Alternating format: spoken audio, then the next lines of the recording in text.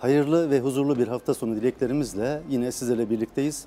Tüketicinin dostu BBN Türk ekranlarında tüketici dostu programıyla Tüketiciler Birliği Genel Başkanı sıfatıyla sizlerle her zaman olduğu gibi tüketici sıkıntıları ve çözüm noktaları üzerinde konuşacağız, hasbihal edeceğiz.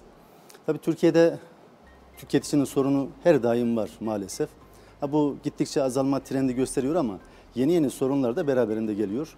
Hani e, zaten sıkıntımız yok değildi ama biliyorsunuz 2020 maalesef bir pandemi süreciyle hani bir geldi, pir geldi noktasında pandemi e, bu korona hakikaten sorunlarımızı daha da artırdı. Daha da belki çıkılmaz bir noktaya götürdü ama yargısal süreçler ve bizim bu konuda kamuoyu baskısı ile tüketicinin en azından yaşayabileceği sorunları aza indirme noktasında gayretlerimiz oldu. Sonuçta alıyoruz çok şükür.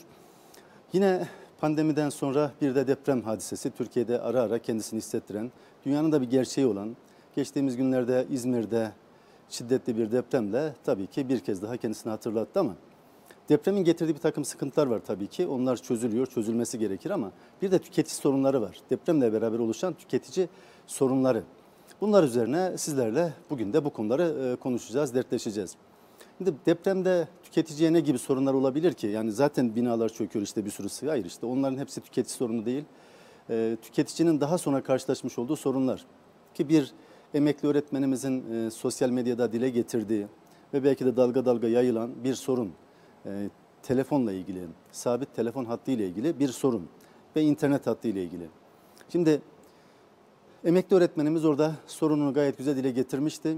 Sorunu çıkartanları da dile getirmişti. Ne diyordu? Ben bunların abonesiyim. Yani Türkiye'nin işte altyapısını yapan, e, sabit telefon hattında e, marka olan ve internet hizmeti de sunan e, firmanın ben abonesiyim. Ve benim evim o çöken e, binanın yanında terk edilen, boşaltılan ve orada oturulması yasaklanan bir binada oturuyorum ben ve oradan çıktım. E çıkınca doğal olarak telefon hattımı, internet hattımı devam etmesin diye. Çünkü ne zaman oturacağım, ne zaman bağlatacağım belli değil.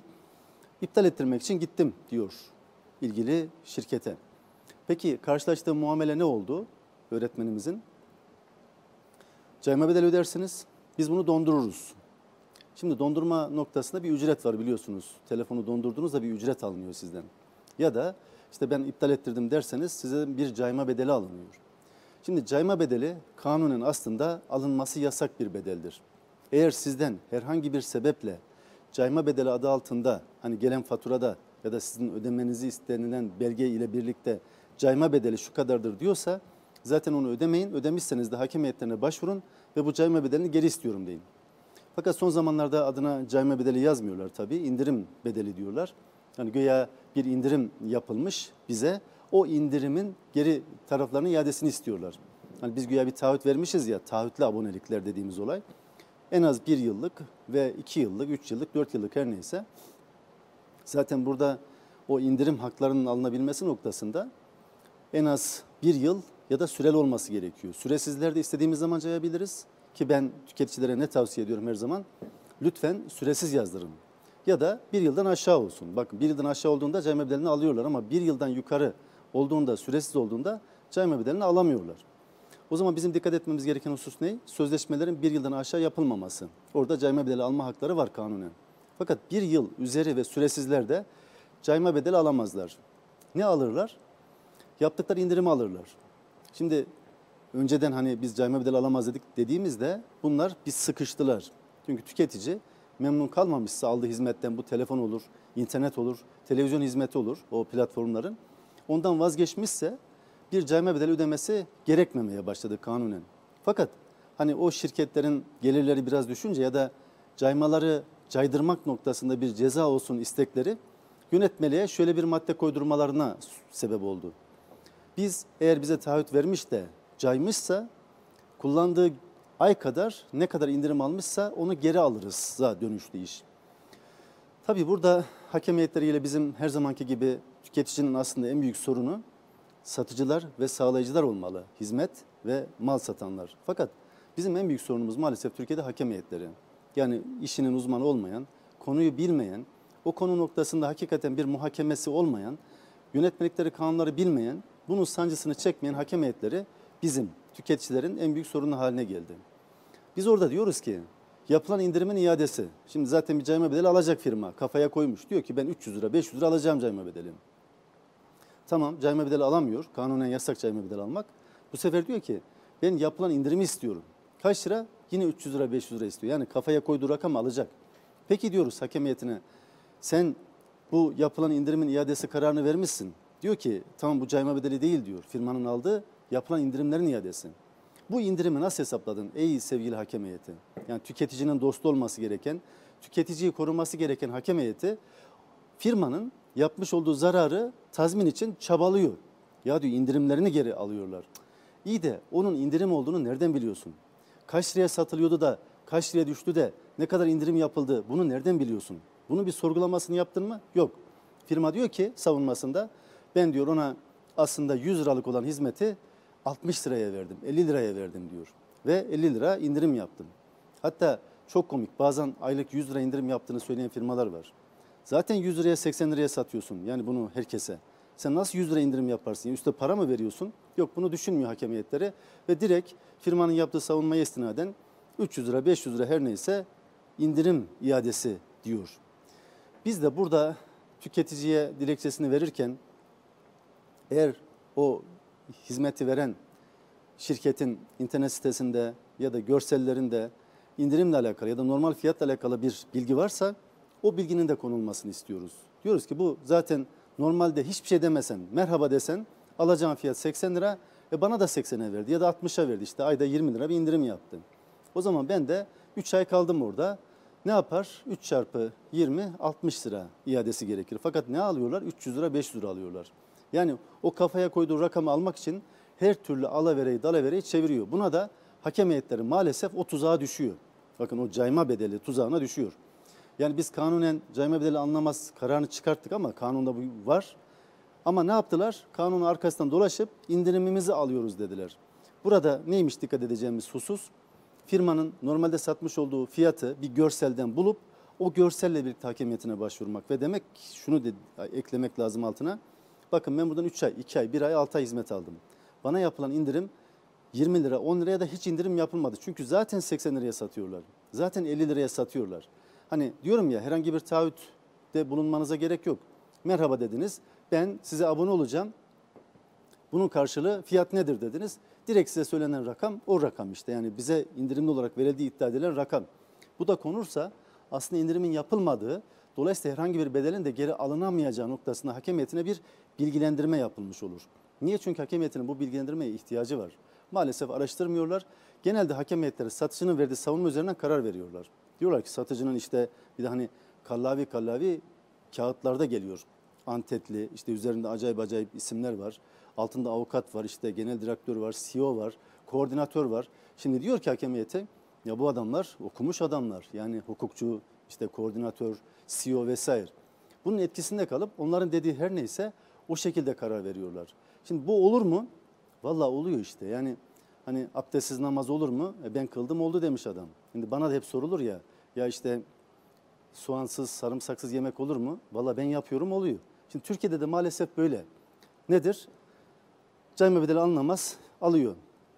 Ee, indirim tutarını cayma bedeli almak istediği rakam kadar gösteriyor, alıyor. Bu tarafta da firmanın gönderdiği savunmayı doğru kabul edip aynen oraya karara yazıyor. Biz hakemiyetlerine ya siz yani ne gerek var ki yani zaten almış bir de siz uğraştırıyorsunuz bir sürü masraf ediyorsunuz. Yani bu al, bırakın o zaman hakemiyetine gerek kalmasın. Firmalar istediğini alsınlar işte bir şekilde yol geçen anı olmuş.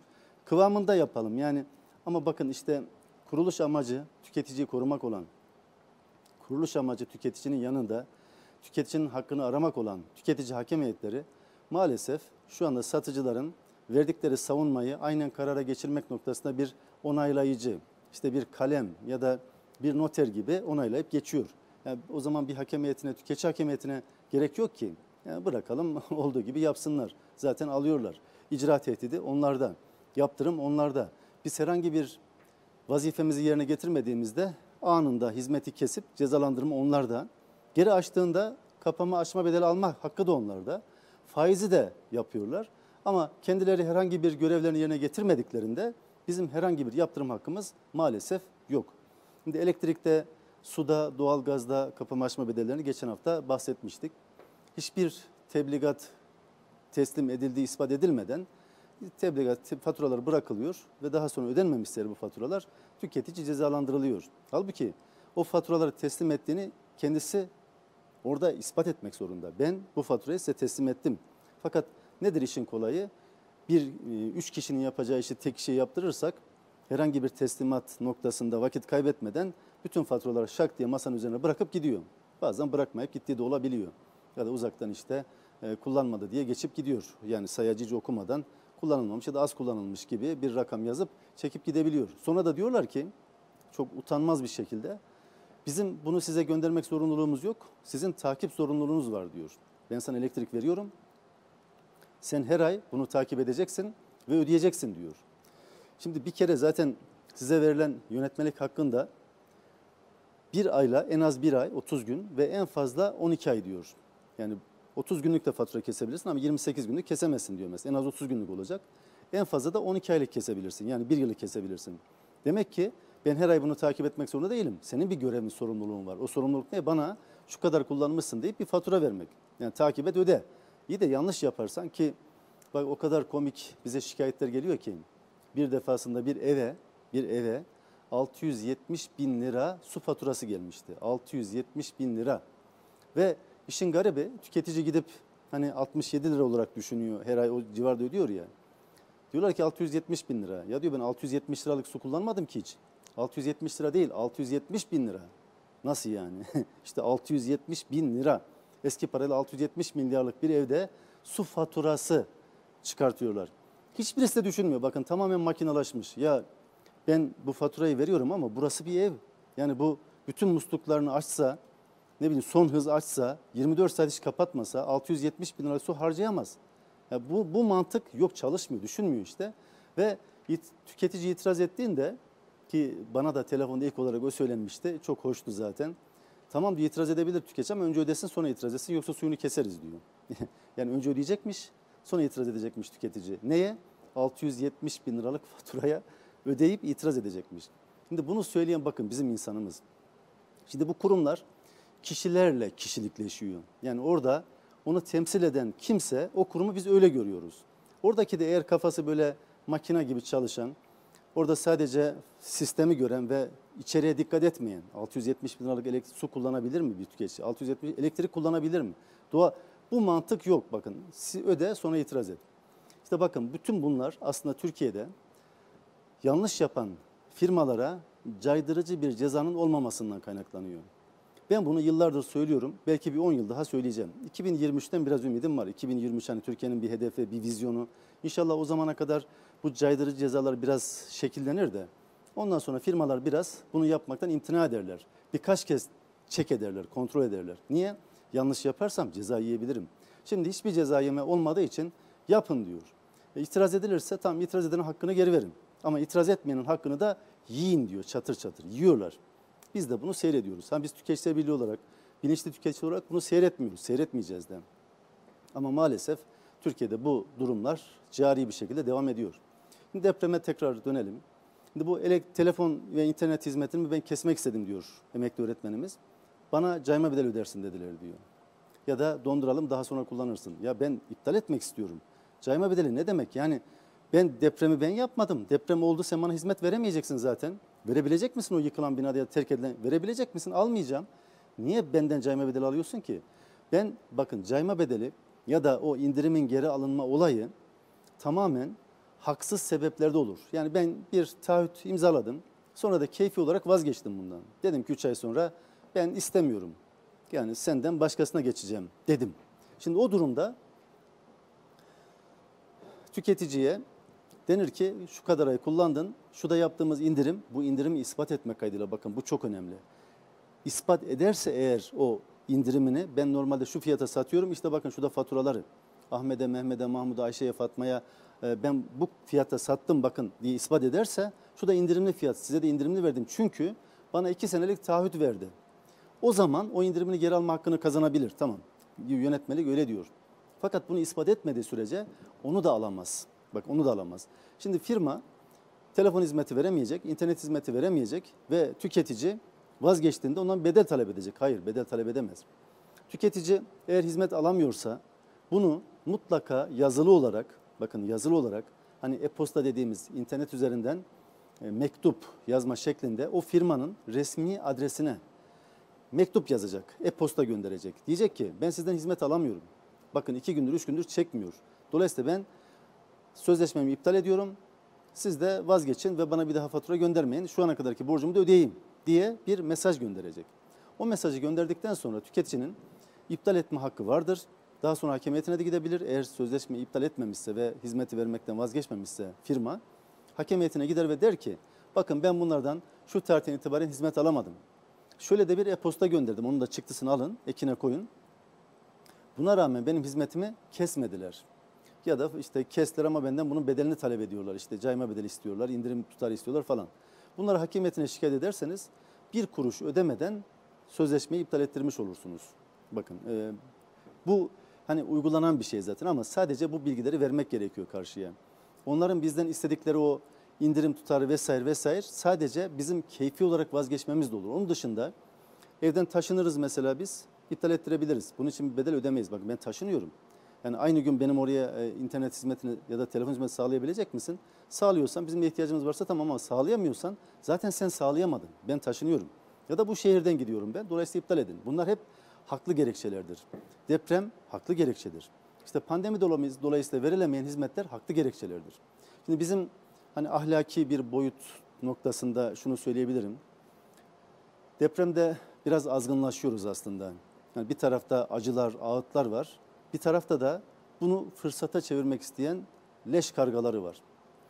Bunlar ne yapıyorlar? Bir anda ev fiyatları artıyor. Bir anda taksi fiyatları artıyor. Bir anda taşıma fiyatları artıyor. İşte nakliye, kargo oradan taşınacaklar. Normalde 1000 liraya taşıyorsa 2000 lira, 3000 lira diyor. Niye? İşte fırsatçı. Daha önceki depremlerde 20 kuruş olan suyun 5 liraya satıldığını hepimiz gördük, duyduk.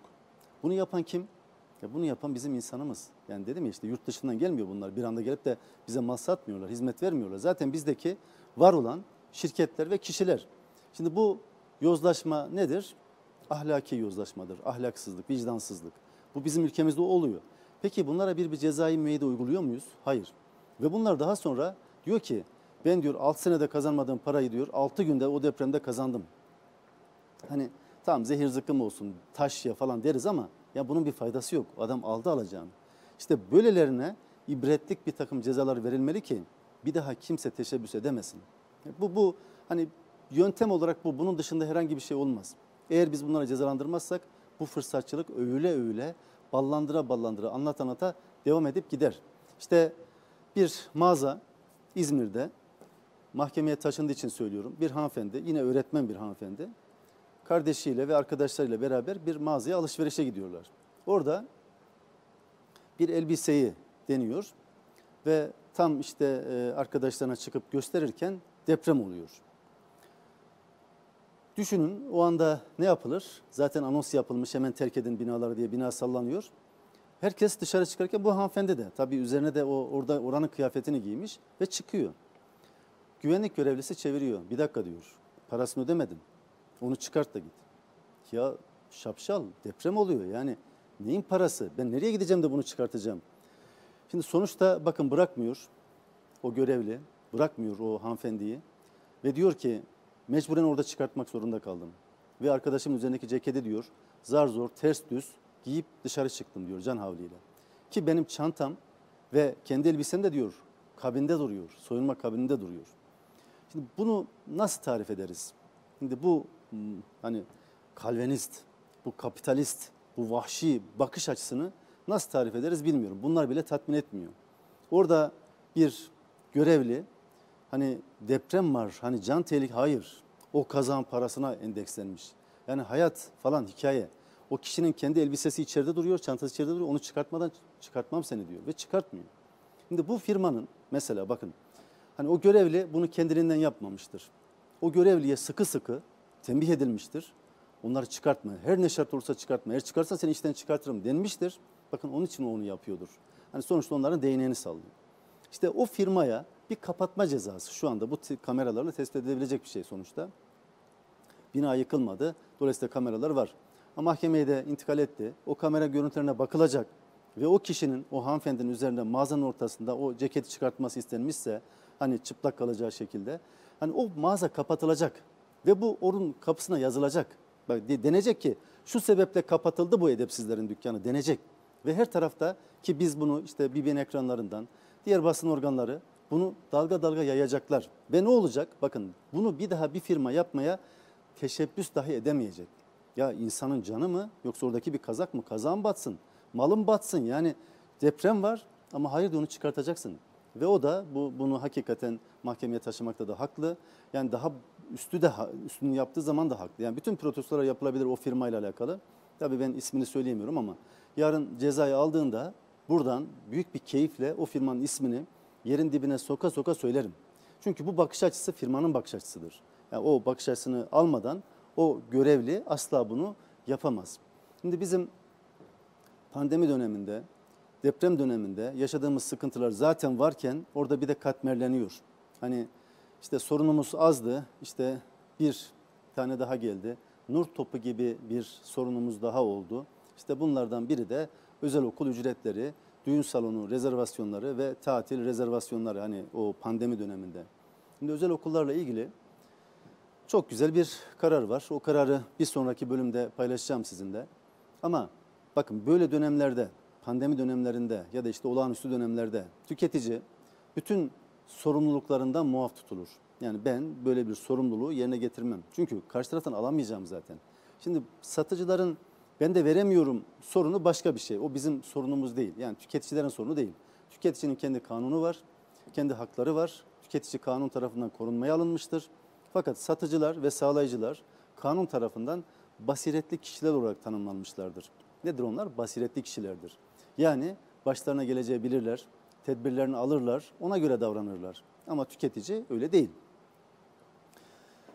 O açıdan da biz tüketicinin yanında durarak tüketicinin almadığı hizmeti, kendisine verilmeyen hizmeti sebep ne olursa olsun, bakın sebep ne olursa olsun almadığı ve verilmeyen hizmeti ve malın bedelini tüketiciden kimse talep edemez. Hani dedik işte pandemi döneminde daha önce pandeminin olacağını kimse bilmezdi.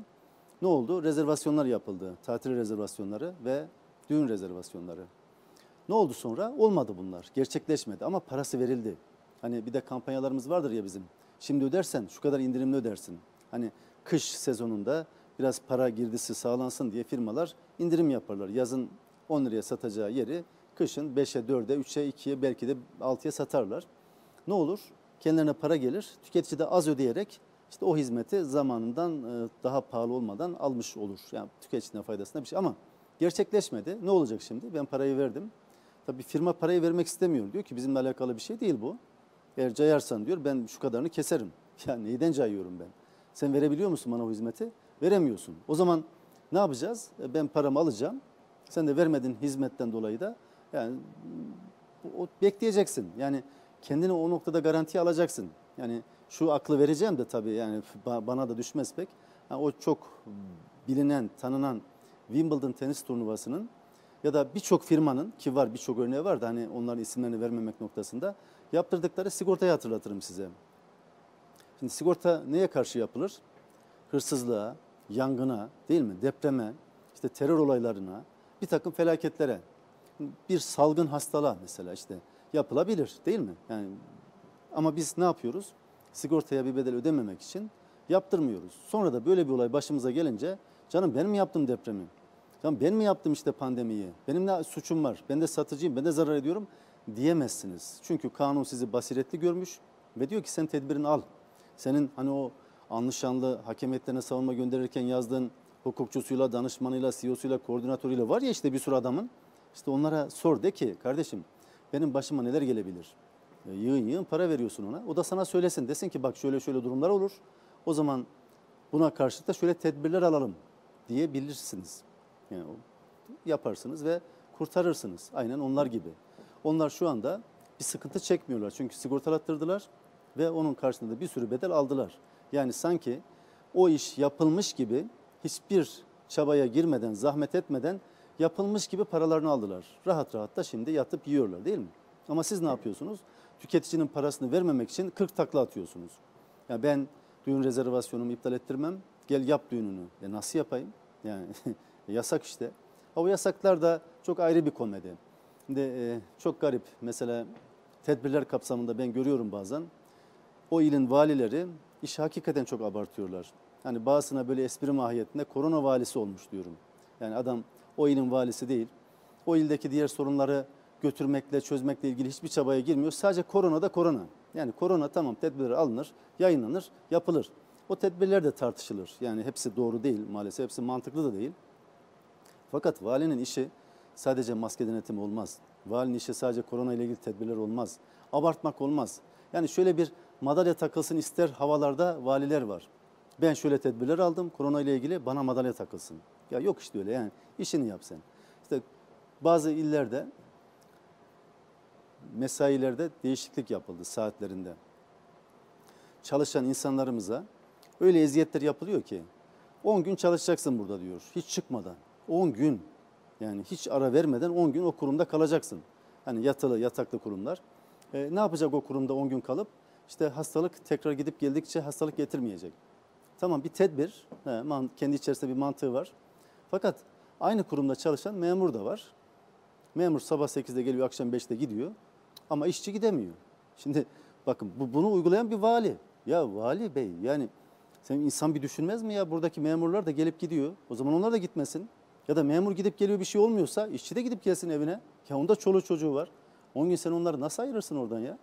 Hatta işçi için daha abartılı bir durum duyduk. O da çok garip. Sadece Kayseri'de varmış o da. 4 günde izolasyona tabi tutuyorlar. 4 gün. Nerede? Kredi yurtlarda. Yani işçi 4 gün kredi yurtlara giriyor. Hapis hayatı başlıyor orada. Çıkar çıkmaz servisle alınıp iş yerine götürülüyor. Başka bir yere götürülmeden. Toplam 14 gün evinden, çoluğundan, çocuğundan uzak bir iş hayatı gerçekleşiyor. Şimdi burada sağlıksız bir durum var mı? Var. Bunların psikolojisi bozuluyor mu? Bozuluyor. Bünyeleri zayıflıyor mu? Zayıflıyor. Ya ailelerinden ayrılar oradaki yaşanan sıkıntılar o da ayrı bir sıkıntı. Ha bunu kim düşünecek? Ya bunu vali düşünmeyecek de kim düşünecek? Ama yok vali ben tedbirler aldım deyip onun havasını atmak için çabalıyor. Yani ben tedbir aldım. Ama yanlış aldın, yanlış yapıyorsun ya. Yani memur sabah 8'de geliyor, akşam 5'te gidiyor. Ya yani şimdi benim de o noktada sadece aklıma şu soru geliyor. Yani memurun bir 657'si var biliyorsunuz, koruma kalkanı. Yani bu 657 sayılı kanun memuru koronadan da mı koruyor acaba? Hani memura korona bulaşmaz, yasakladık. Kanunen yasakladık. Memura korona bulaşmaz, memur da korona bulaştırmaz. Kanun hükmünde kararname çıkarttık ve yasakladık. Böyle mi? Yani şimdi hakikaten bu çok mantıksız bir durum. Ve pandemi döneminde tüketicinin sorunları var, işçinin sorunları var. Bunu daha da abartmadan bunu en e, mantıklı şekilde çözmek gerekirken bu çabaların tersine çabalar görüyoruz. Kısa bir aradan sonra özel okul kararı ile özel okulun pandemi döneminde ücretler ödenir mi? Geri alınabilir mi? Nasıl süreç işliyor? Ne aşamadayız? Mahkeme kararı var mı? Onu konuşacağız kısa bir aradan sonra.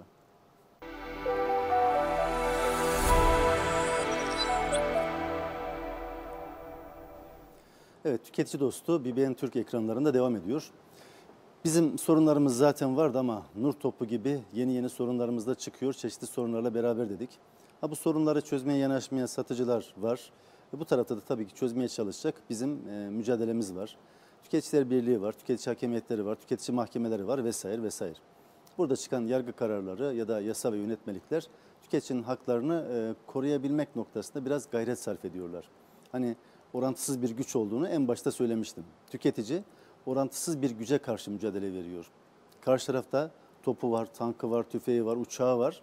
Ee, bizim neyimiz var? İşte sadece elimiz var, fikrimiz var, e, bilgimiz var. Onun dışında bizde bir şey yok. Dolayısıyla orantısız bir güçle mücadele ediyoruz. Bu anlamda da tabii ki yasaların ve hukukun korunmasına biraz muhtacız. Onların verecekleri kararlar noktasında. Özel okullar dedik pandemi döneminde. Yani düğün salonları ve tatil rezervasyonlarının gidilemediği için hakem heyetlerine başvurularak o bedellerin geri alınabileceğini paylaşmıştık sizinle. Fakat özel okullarla ilgili de hakikaten Türkiye'de hem hakem heyetinin yani Kayseri Tüketici Hakem Heyeti'nin il ve tüketici mahkemesinin vermiş olduğu karar emsal niteliğinde kararlar ve Türkiye'de şu anda dalga dalga yayılıyor. Nedir özel okullardaki durum pandemi döneminde? Şimdi özel okul adı üzerinde ha e, özel bir okul ha özel bir pastane, lokanta fark etmez. Yani sonuçta özel. Yani eğitim olması onun devlete ait olmasını, kamu hizmet olmasını gerektirmiyor. O özel bir şirket ve size eğitim satıyor. Ve siz bir bedel ödeyerek daha iyi eğitim alır mı çocuğum diye bir hizmet satın alıyorsunuz. Yani devletin okulundaki eğitimi ben beğenmiyorum. Aslında eğitimle de çok alakası yok da işte binaları güzel, işte güvenlik var kapısında, duvarları güzel, bahçesi güzel, işte spor salonu var, yemekhanesi güzel, tuvaleti yani bu sebeple diyoruz oraya para veriyoruz değil mi?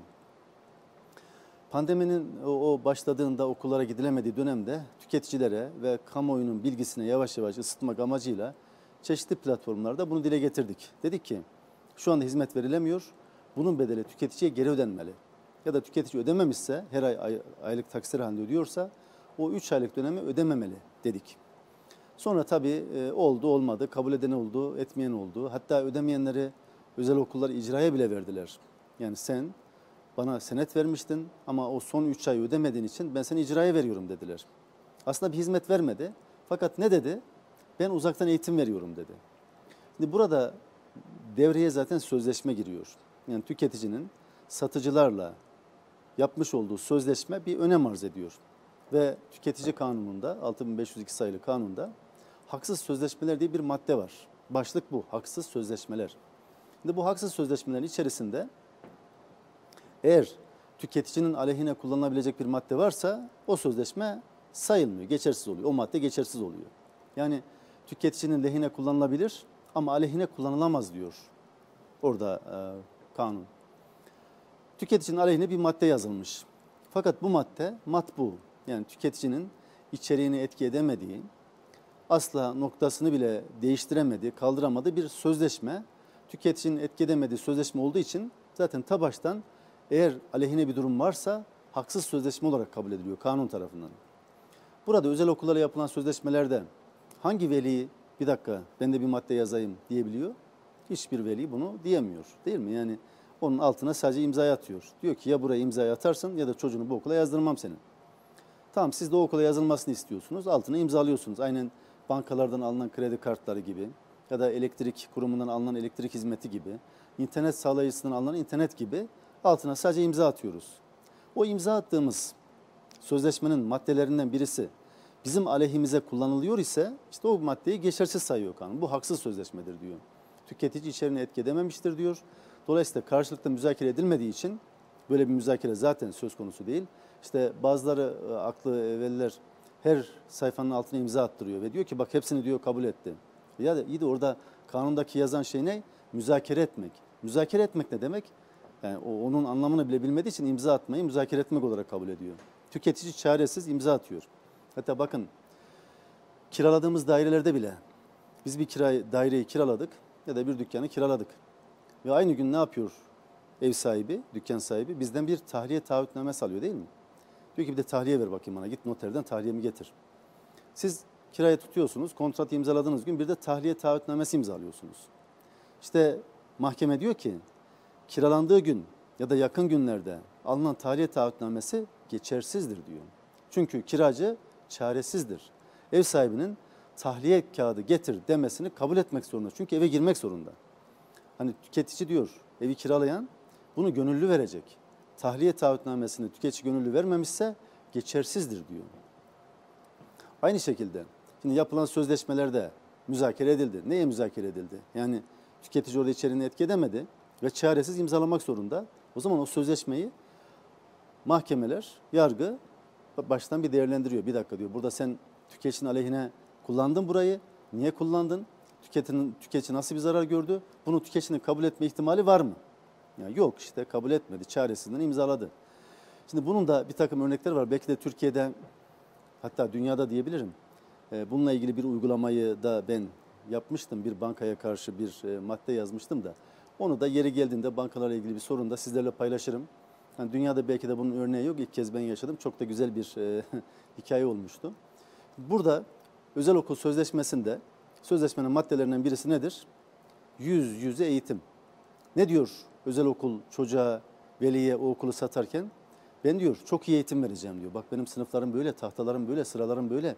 Çocuğun diyor sıkışık sıkışık oturmayacak, tek başına oturacak. Sınıflarımız öyle 50-60 kişi değildir işte en fazla 20 kişiliktir. Nezih bir ortam e, işte kaldırımlar hatta merdiven o e, korkuluklarına kadar çocuğunuzun düşmesini engelleyecek, düşerse işte yaralanmasını engelleyecek. Hadi yaralandı diyelim işte hemşire odası var. Ne yapıyor? Bir bedel karşılığında bir hizmet satıyor değil mi? Fakat sonra bu sözleşmesine koyduğu, öve öve bitiremediği okul hizmet vermiyor. Vermiyor hizmeti. Ama bunun bedelini o okullar maalesef istiyorlar. Diyorlar ki biz uzaktan eğitim yaptık, bunun da bedelini vereceksiniz. Şimdi bununla ilgili işte Talim Terbiye Kurulu'nun ortalıkta gezen bir yazısı var. Hani ne olduğu da çok anlaşılmayan, aslında devletin verdiği eğitimi kasteden, fakat özel okul konusunda da anlaşılsın diye, çünkü hani Sayın Bakanımızın, Milli Eğitim Bakanımızın da var ya özel okulları, orada yanlış anlaşılma olmasın, o da işte gücenmesin, ayıp olmasın diye yazılan bir yazı var. Şimdi bu bir yazı bizi bağlar mı? Bağlamaz. Yani onun kendi görüşüdür. Ortada bir kanun var. Ve kanun diyor ki sözleşme geçerlidir. Sözleşmede hani tüketicinin aleyhine kullanılabilecek bir durum. Hani mesela tüketici müzakere ettiniz. Velev ki müzakere ettiniz. Altında imzaladı ve dedi ki ben okudum anladım. Bunu olduğu gibi kabul ediyorum dedi mesela. Dedi ve altına imzayı attı. Orada ne yazıyor? Bunu demesine rağmen ne yazıyor? Yüz yüze eğitim yazıyor. Peki sen yüz yüze eğitim verdin mi? Vermedin. Uzaktan eğitim verdim. Sözleşmede uzaktan eğitim yazıyor mu? Yine söylüyorum. Velev ki tüketici kabul etti. Müzakere ettim dedi altını imzaladı. Yazıyor mu? Uzaktan eğitim vereceğim ben diye hani internet üzerinden yazıyor mu? Yazmıyor. E sen bunu öngöremedin. Peki bu yazmıyor sözleşmede. Hem sözleşmeye uymuyorsun, hem hizmet vermiyorsun, hem de bedelini alırım diyorsun. Bunun, bunun adı nedir? Ya valla bunun adı eşkıyalıktır. Ya modern eşkıyalık. Yani hukuka sığmayan, kanuna sığmayan, yani tüketiciyi asla e, değerli görmeyen bir anlayış bu anlayış. Ben alırım diyor.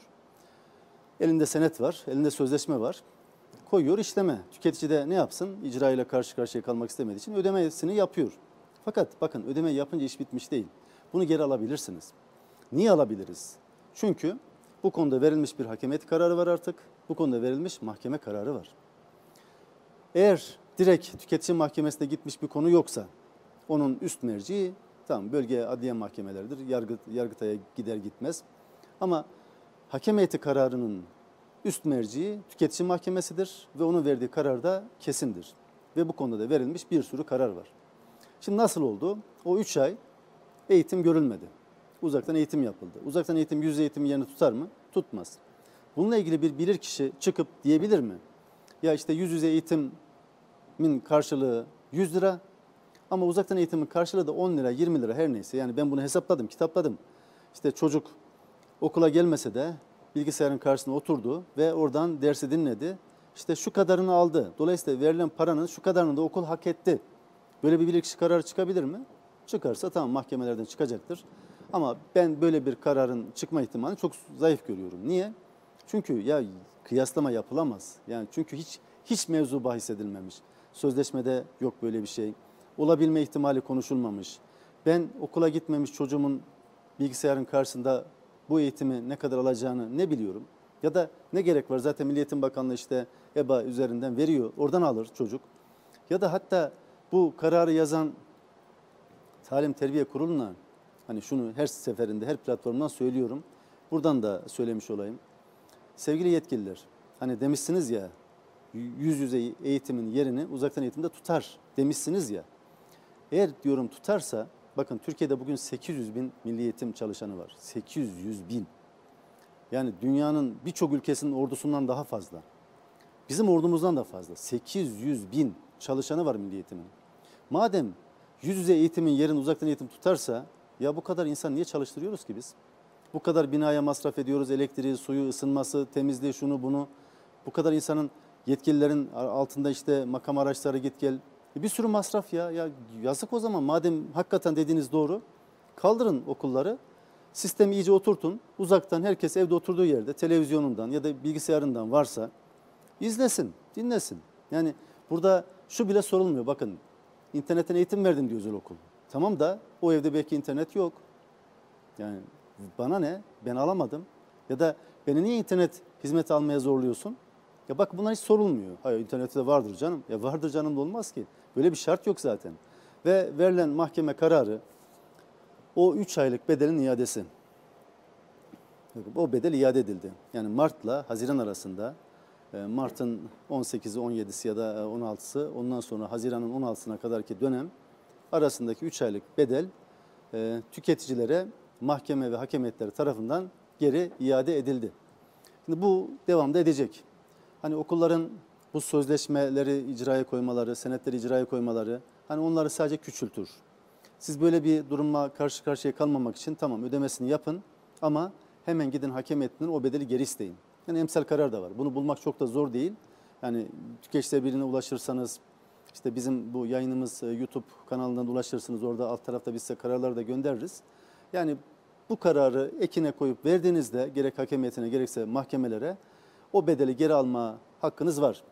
Fakat burada şöyle bir hatırlatma yapayım. Eğer hakem heyeti üyeleri seyrediyorsa ki inşallah keşke her hafta bu saatlerde Türkiye'deki bütün hakem heyeti raportörleriyle ya da üyeleriyle BBN Türk ekranlarında keşke böyle karşılıklı muhabbet edebilsek. Onlar da sıkıntılarını, eleştirilerini yazsalar. Biz de onlara e, o eleştirilerinde haklıysa eğer hakkaniyetlerini sunsak, kabul etsek. Ama bakın e, satıcı lehine bir şey söyleyeceğim şimdi. Hani biz sadece her konuda tüketici haklıdır. E, Ne olursa olsun tüketici hakkını verin demiyoruz ki. Yasa ve yönetmelikler gereği tüketicinin hakları vardır ve bunun verilmesini istiyoruz biz. Yargı kararları vardır, bunun uygulanmasını istiyoruz biz. Ama hani satıcının da hakkı yeniyorsa ya biz ona da razı değiliz. Çünkü biz bir hak arama için, hak mücadelesi için çıktık yola. Burada satıcının hakkını yersek o zaman samimiyetsizliğimiz ortaya çıkar. Anaokulları ve kreşler bunun dışında. Bakın onları istisna tutmak lazım. Niye? Çünkü anaokulu ve kreşlerde hem 3 ay eğitim verilmedi o dönem içerisinde daha az 2,5 ay gibi bir zaman. 15 günlük bir haklarını fazladan geri almış oluyoruz veliler olarak. Yani onların hakkını almaya da hani yani insan olarak biz razı olamayız. Artı anaokulu ve kreşlerde kırtasiye, kitap, oyuncak ve kıyafet de var. Şimdi başta işte 20 bin lira toplam verilmiş. Bunun hesabını yapıp 20 bini 3'e bölüp 3 aylık bedelin iadesi diye bir karar verirsek yanlış karar vermiş oluruz. Yani hakem heyeti üyelerine özellikle söylüyorum. Eğer böyle bir karar varsa lütfen hemen itiraz edin anaokulu ve kreşler için. Bir dakika deyin. Burada fatura detaylarını bir görelim. Yani 20 bin 3'e bölemeyiz. Neyi 3'e bölebiliriz? Orada yemek ücretini çıkartırız ki almışsak eğer. Ee, servis ücretini almışsak onu çıkartırız.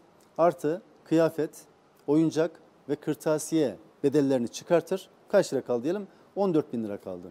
14 bin lirayı 3'e böleriz, 3'te birini iade ederiz. Hatta oradaki 15 günlük süreyi de çıkartır. Değil mi? Onun da çünkü 3, 3 ay olmamış anaokulu ve kreşlerde. Kapanma tarihi Haziran'ın 5'i. Dolayısıyla Haziran'ın 5'i ise o geriye kalan 10 günlük, 15 günlük süreyi de iade etmemiş oluruz. Yani böyle bir hakkaniyetsizliğe de fırsat vermeyelim lütfen.